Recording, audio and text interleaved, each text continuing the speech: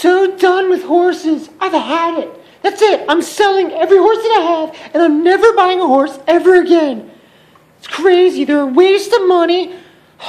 My barrel horse is lame. My yearling ran through the fence and busted his leg all up, tore the fence all down. My trail horse is gonna have a foal any day, and I can't use her. Horses are such a waste of money. I'm never buying a horse ever again in my life. Oh my goodness, I gotta go. My mare just had her foal. Oh, oh, it's the cutest thing I've ever seen. I'm never gonna sell any of my horses ever. Oh my goodness, I love horses.